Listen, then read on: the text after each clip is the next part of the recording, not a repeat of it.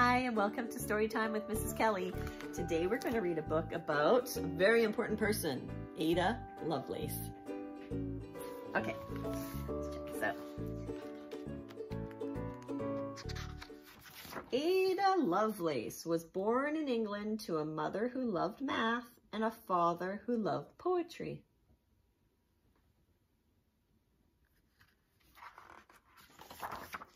Ada's father left England when she was very little and never returned. Her mother was away a lot too. So young Ada spent a lot of time at her grandparents' house. A cat named Mrs. Puff kept her company. Left alone, Ada's imagination took flight. She started to dream of machines with wings that could move in any direction.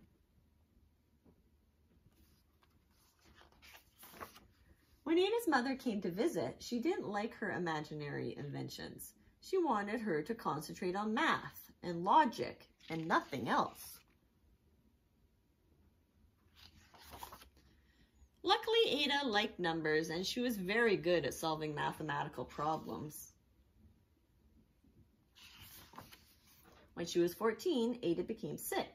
She had to spend a lot of time resting in bed but she kept studying, inventing, and dreaming. After three long years, Ada got better. She went to London and was introduced to a famous mathematician named Charles Babbage. Mr. Babbage told Ada he was building a big machine that could add together sums. It was called a calculator. The calculator could do sums so quickly, it was like magic. Most people couldn't understand how it worked, but Ada was fascinated. Ada thought she could use math to make the calculator do more amazing things. She wrote a code made up of numbers that would tell the calculator what to do. Ada didn't know it, but she had just invented the language that computers use today. That's amazing. Little Ada, who loved both numbers and poetry, had become the world's first computer programmer. She showed that when you use science and imagination, your dreams can take flight.